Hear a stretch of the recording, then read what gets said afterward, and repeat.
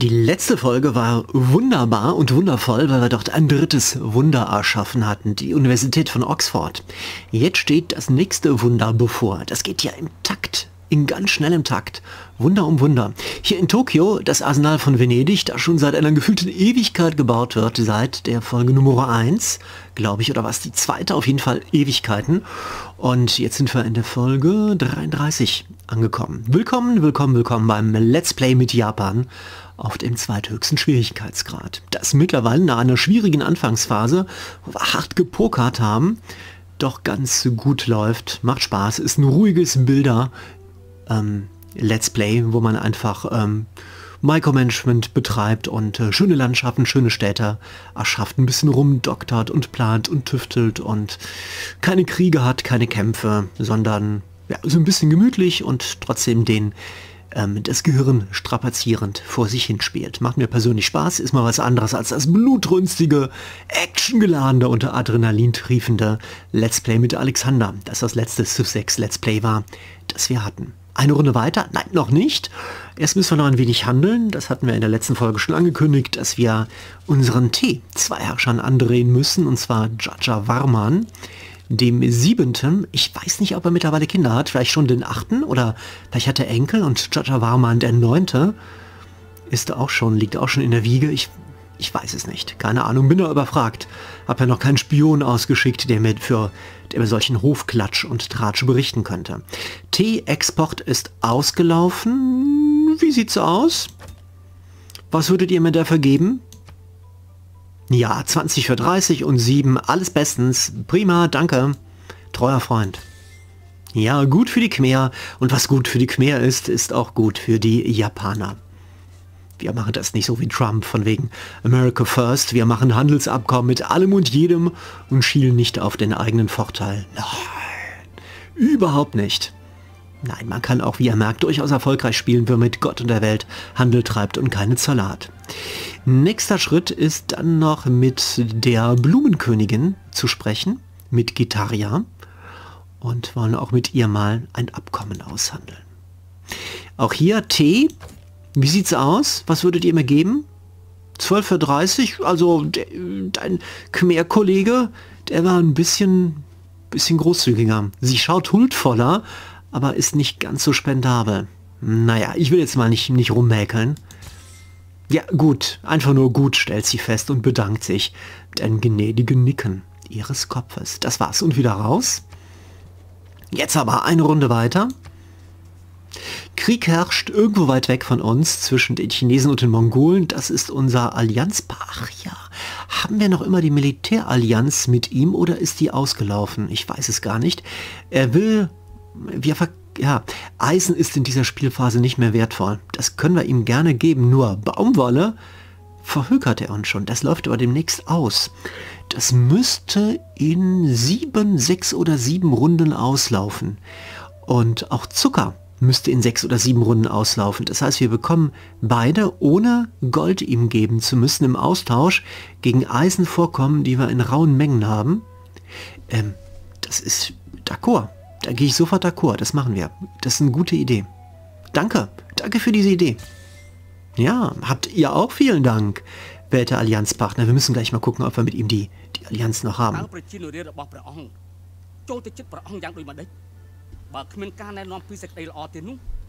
Wir haben doch ein göttliches Vorbild. Das ist der einige Bulle. Wir können ihn nur nicht preisen und anbeten, weil das im Industriezeitalter, wenn man dann erst in die Welt tritt, nicht möglich ist. Es tut mir herzlich leid. Ich hätte es gerne anders gemacht und gelöst. Haben wir immer noch die Allianz mit dir? Es, da ist eine, da weht noch eine hellblaue Fahne. Insofern ja, müsste so sein. Wie lange läuft sie noch? In noch zwei Runden, okay. Dann geht's jetzt weiter mit Barbarenblut. Universität abgeschlossen. Sehr schön. Und was machen wir hier als nächstes? Wohnraum brauchen wir nicht. Handwerker kriegen wir 10,7 ist nicht so viel. Handwerker kriegen wir nicht mehr rechtzeitig fertig. In fünf Runden ist Politikkartenwechsel. Der Handwerker müsste also... Nein, so schnell sind wir nicht. Den Händler können wir hier einstellen. Und das machen wir auch. In Kim, ein Händler fertig. Das ist gut. Was sehr schnell hier ginge, wäre ein Campus. Hier oben gebaut, dazu neben. Gibt es auch gleich noch eine Bibliothek gratis.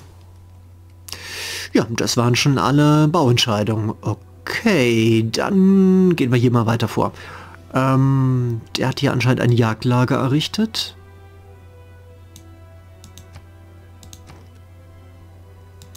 Plus 14,2. Produktion ist okay mit 37,8, aber nicht überragend, aber da kann man mit, mit leben. Ich möchte im Augenblick gar nicht unbedingt roden, weil die Handwerker sind so teuer, wenn man die baut.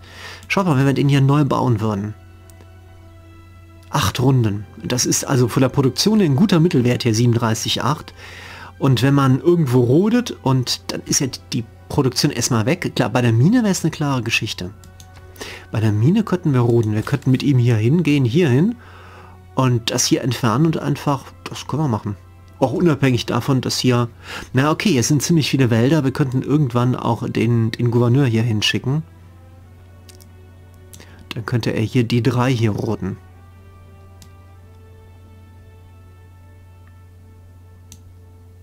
Mhm, das könnten wir machen. Bis dahin uns auf Minen konzentrieren.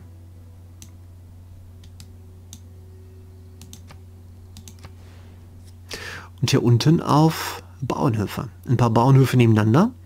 Das wäre doch nicht schlecht.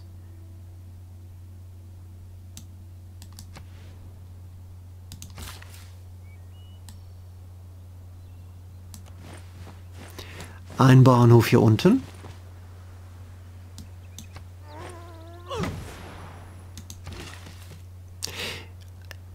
Ein Bauernhof hier daneben. Sind wir eigentlich schon so weit? Ich habe das gar nicht genau im Kopf, dass man zwei oder drei Bauernhöfe nebeneinander braucht für plus eins. Hier links haben wir drei Nahrung. Wir setzen mal einen daneben jetzt geben die vier. Ja, zwei, es reichen schon Zweierpaare mittlerweile aus. Dann lassen wir die hier am Rand, nämlich am Fluss für Wälder. Werden beide nicht genutzt.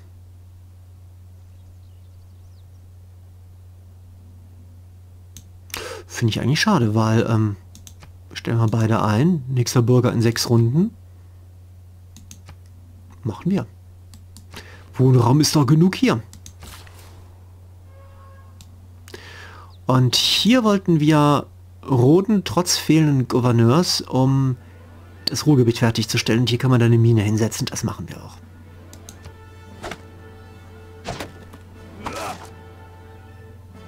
Der hat, glaube ich, noch drei Aktionen. Ja, einmal Mine, einmal rüber und so weiter. Ja, alles gut. Mit dem Kollegen geht es Richtung Osten.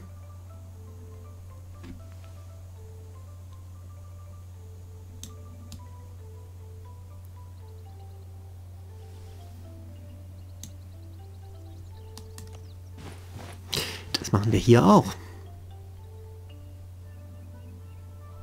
Wem gehört das Feld?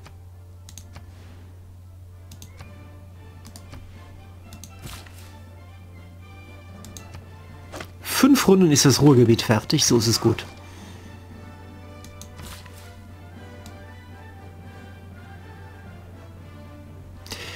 Den Regenwald hier sollten wir eigentlich entfernen können, aber holla. Ah, da kommt später Gouverneur Magnus hin. Ist egal, machen wir trotzdem. Dann bekommen wir noch einen Bürger drauf.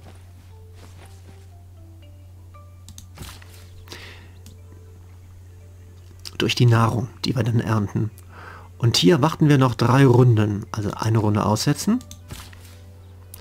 Eine Runde aussetzen ist nicht so super perfekt, aber immerhin. Und hier wollten wir jetzt ein Sägewerk hinsetzen. Hier wollten wir ein Sägewerk hinsetzen. Schauen wir mal, wie es hier aussieht. Oh, super. Das ist ja echt cool. Klasse. Hier wollten wir einmal roden für den Big Ben. Ah, das hat gar nicht so viel gebracht. Das sieht man mal, wie teuer der ist. 25 Runden, wow. Kim ein Handelsweg fertig. Der ging wohin, der alte? Oh nee, es ist ein Händler, der, der neu entstanden ist. Ähm, wir brauchen ja vermutlich mal Produktion, ne? Nahrung plus 20,7. Wohnraum hat er in rauen Mengen. Kim ist die schwächste Stadt, aber wir nehmen sie mal mit. Jeder Bürger zählt bei uns, auch der, der in Kim, in Kim lebt. Und vielleicht auch Kim heißt. Vielleicht ist der örtliche, gibt es da irgendwie einen Dorftrottel, der die anderen Bewohner hier in Kim terrorisiert und sie zwingt auch den Namen Kim zu tragen.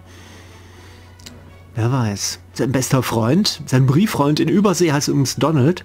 Die beiden schreiben sich mal Fanbriefe gegenseitig. Habe ich gerüchteweise gehört, ob das stimmt? Weiß ich nicht. Keine Ahnung. Und 2007 Produktion bei 17.8 ist echt dürftig. Was können wir denn hier machen? Wir sortieren mal nach Produktion. Da kann man einiges machen. Das sind alles Interessantesten. Ich zeige mal die an, wo demnächst ein ähm, Bezirk fertiggestellt wird. Ich gehe mal alle einmal durch, weil das würde bedeuten, dass das demnächst noch produktiver ist. Aber das ist nirgendwo der Fall hier. Dann nehmen wir einen, der glatte aufgeht. Dann schicken wir den hier nach Rauchende Schlote übers Land. Vielleicht gibt ja auch das Weltwunderpunkte für den Handel. Ich glaube aber nicht.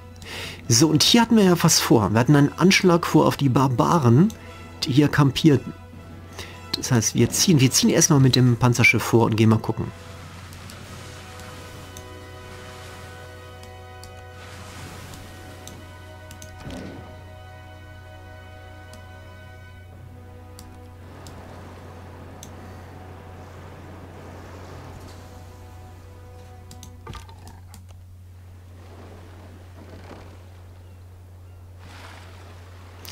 Kann hier nicht reinfahren. Das Panzerschiff nicht, aber der Speer kann er gleich raufrennen.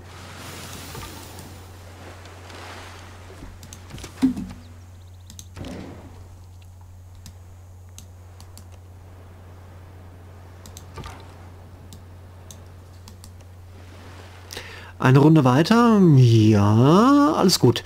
Wir sparen ein bisschen Gold für den Big Ben. Mal gucken, ob wir zwischendurch was, was ausgeben. Zumindest wollen wir vielleicht nachher unsere Reiter in Kavalleristen noch um, umsetzen und umwandeln. Alles klar dort oben? Ich denke ja. Habe ich irgendeinen Handel vergessen? Nein. Eine Runde weiter.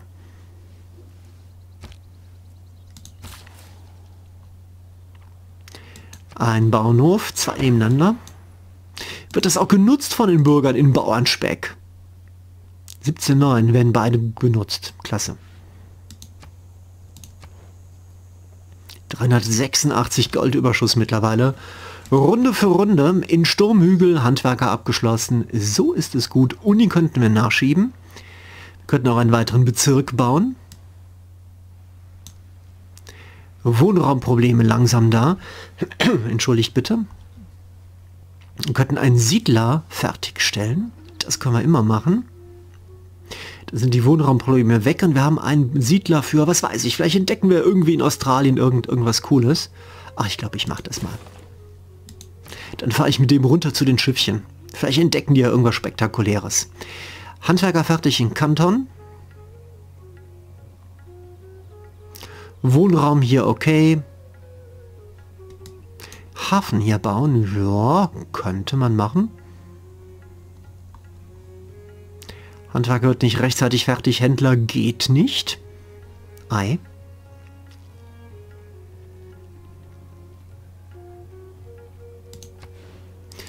Wo würden wir denn wirklich satt abräumen im Industriegebiet?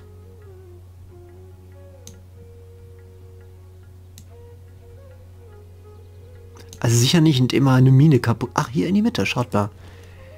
Hier kann man Industriegebiet hinsetzen und die profitieren von den Minen, von der Stadt selber Aha. Interessant. Plus 4.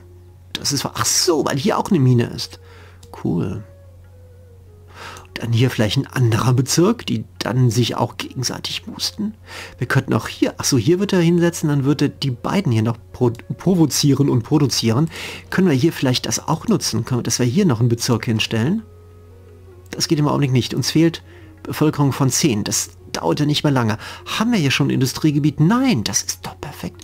Wenn wir hier eins hinstellen, würden die sich gegenseitig boosten und er hier wird von denen... Ja, das machen wir doch. Wir machen hier auf jeden Fall einen Bezirk von bissigen Bullen. Und ja, einen hier rechts daneben. Hoppla.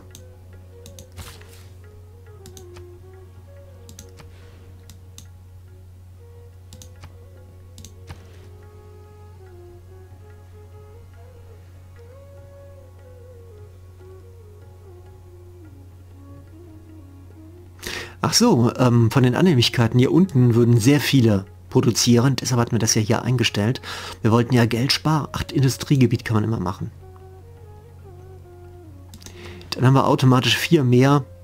Das sind über, das sind so um über den Daumen 12% mehr Produktion.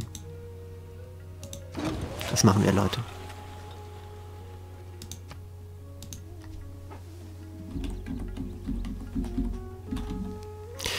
Und es ist auch deshalb alles, finde ich, gar nicht so doof, weil wir im Augenblick ja, weil die Campus oder Campus ist ja, glaube ich, der Plural, massiv, massiv äh, profitieren von Nachbarschaftsboni bei uns, weil wir das gleich zweimal boosten durch eine Widmung im Zeitalter, als auch durch eine Politikkarte.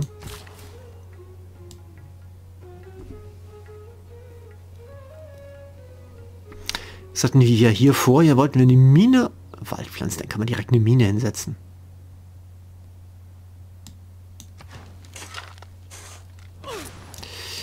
Wird der wirklich von, die Mine wirklich von Fu aus genutzt?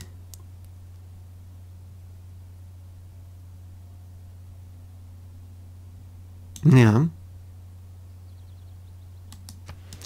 Und er hier unten setzt hier auch einen drauf. Ja, nochmal roten brauchen wir gar nicht. Ah, das war anstrengend.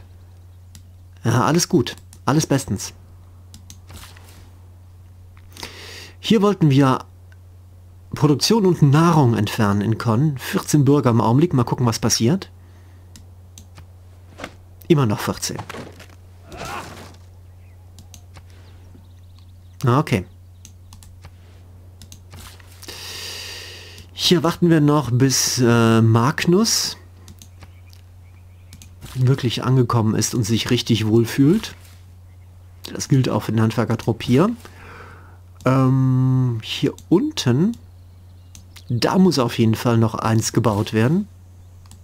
Genau hier. Der hat nur eine Aktion, der kann dort ein Sägewerk errichten. Der hat noch deren zwei.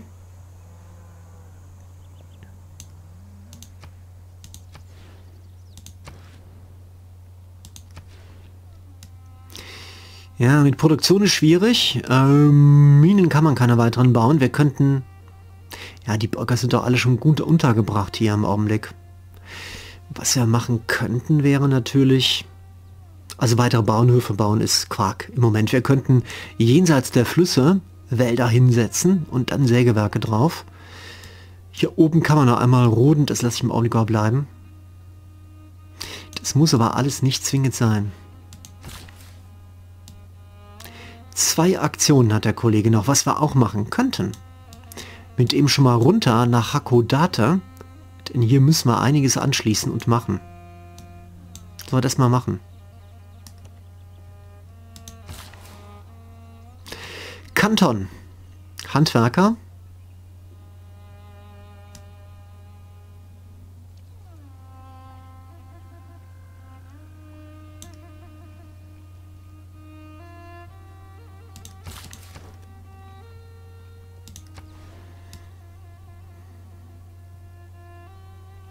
Wo kann man hier mehr Produktion erzeugen? Eigentlich nur durch, ja, Industriegebiet hier, klar, wird jetzt gebaut. Ob wir hier jemals einen Wald mit einem Sägewerk hinsetzen, das schreit geradezu danach, dass hier mal ein Bezirk irgendwann entstehen wird.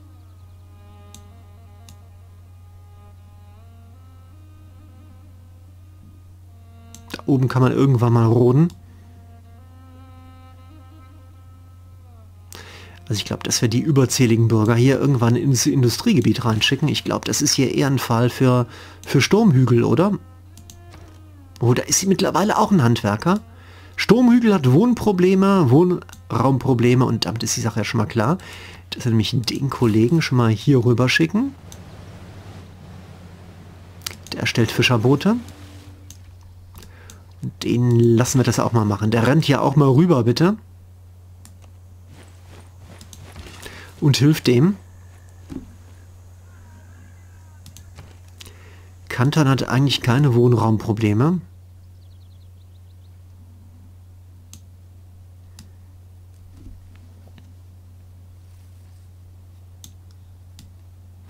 Das ist im Augenblick irgendwie Verschwendung. Wir können natürlich das, das Fischvorkommen hier anschließen, aber wozu braucht er den ganzen Wohnraum hier im Augenblick? Das wird eher was bringen, das wird sehr viel Gold bringen.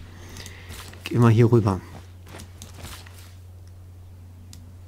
Ja, ähnliche Probleme. Die beiden boosten sich, das reicht eigentlich schon. Wir könnten hier noch einen Bauernhof hinsetzen für bissigen Bullen. Hier einen daneben, das könnten wir machen.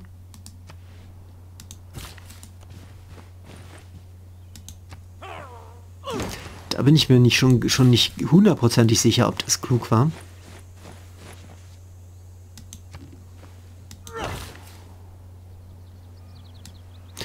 So, und hier können wir jetzt tatsächlich damit beginnen, ähm, Sägewerke zu bauen, weil Bauernspeck hat ein Produktionsproblem immer schon gehabt. Wohnraumproblem nicht und das sind hier schöne Plätze.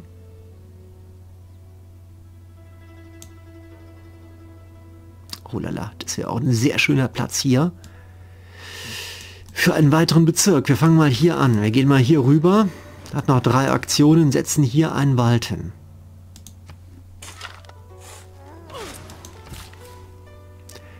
Da oben kommt eine Mine hin.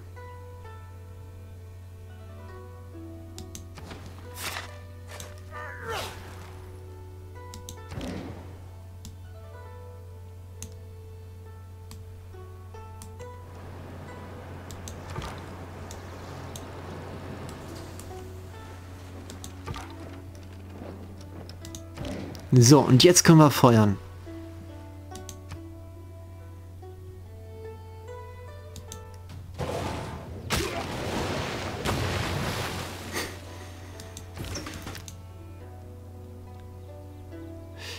Können wir nicht, gar nicht feuern und mit dem Unterseeboot noch nicht. Das heißt, wir warten nochmal ab.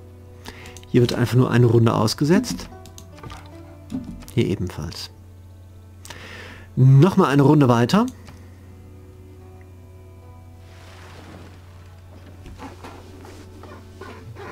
Bald läuft die Allianz mit Gandhi aus. Da müssen wir uns drum kümmern. Die Waffenkammer der Republik Venedig trägt die Inschrift Glücklich ist die Stadt, die in Zeiten des Friedens an Krieg denkt.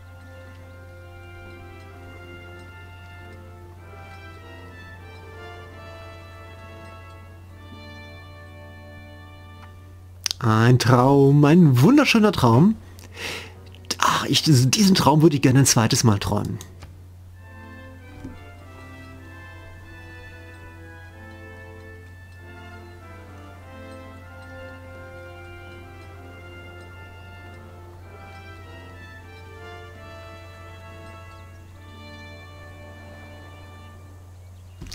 Wunderschön, klasse. Ab jetzt, jedes Schiff, das wir bauen, bekommt ein Zwilling spendiert. Der entsteht wie durch Geisterhand an selber Stelle. Kyoto Handwerker abgeschlossen. Das war unser, wie vieltes? Unser fünftes Weltwunder, ne? Ne, unser viertes. Was noch fehlt, ist das fünfte, das im Bau ist, das ist das Ruhrgebiet. Handwerker fertig. Ähm, auf Spione verzichten wir im Augenblick, noch kein Problem. Kyoto ist nicht sehr produktionsstark. Das ist ein bisschen blöd. Wir haben hier kaum Platz. Seehafen wird mehr Nahrung bringen. Und mehr Gold, das macht schon Sinn. Wir haben auch demnächst, wir haben kaum Probleme, äh, ich wüsste gar nicht, wo ich ein Wohnviertel hinsetzen sollte. Das heißt, das ist eine der wenigen Stellen, wo eine Kanalisation sogar sinnvoller wäre. Aber das dauert noch was. 15 von 18 ab 17 Bürgern bräuchten wir die Kanalisation. Das dauert noch ein Weilchen. Nahrungsüberschuss 22,7. Seehafen dauert unfassbar lange, bringt plus zwei Gold auf allen Küstengeländefeldern. Das wäre verdammt viel.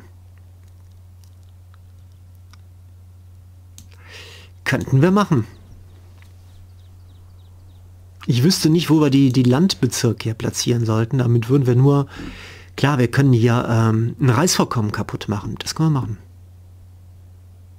Das hier. Dann würde sich gegenseitig boosten. Aber welcher Bezirk profitiert da so massiv von? Welchen brauchen wir zwingend? Ein Industriegebiet? Hier hingesetzt. Plus zwei Produktion. Hauptsächlich nicht vom haben auch das hier, das Industriegebiet vom, von der Nachbarstadt. Es bringt uns den, den Fabrikbonus hier hinten. Da ist Platz frei.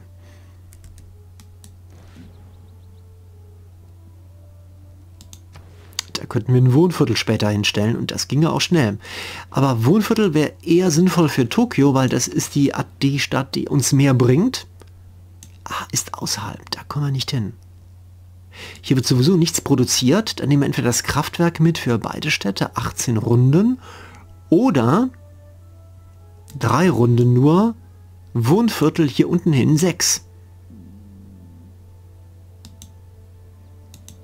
Das machen wir.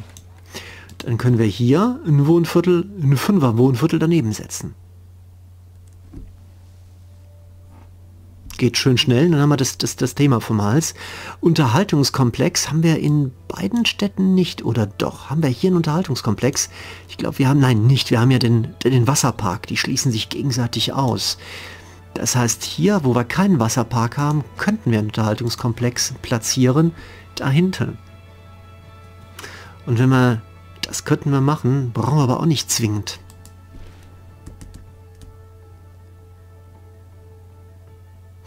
Wir machen das mit dem, mit dem Wohnviertel. Das ist eine preiswerte, schnelle Möglichkeit. Setzen wir hier hin. Handwerker abgeschlossen in Grüngras Campus. Oh, ist noch gar nicht zu Ende gebaut. Sachen gibt's. Brauchen auch Wohnviertel, aber das ziehen wir erstmal durch. Dauert auch nur drei Runden.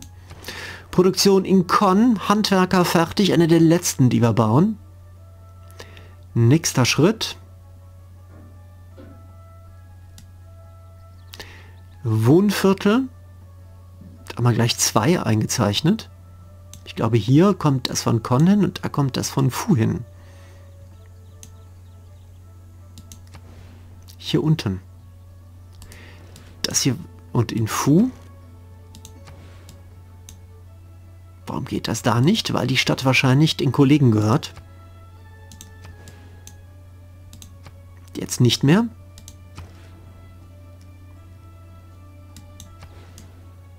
Ja, dann stellen wir das da schon mal ein.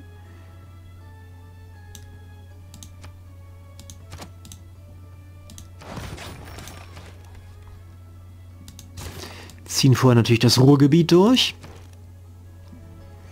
Das Wohnviertel hier. Das stellen wir hier unten in nur vier. Das ist wenig.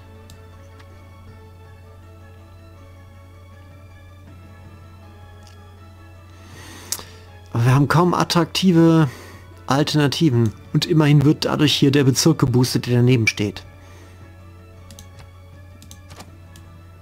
Und wir boosten den die Nachbarn noch mit. Naja, ist doch egal.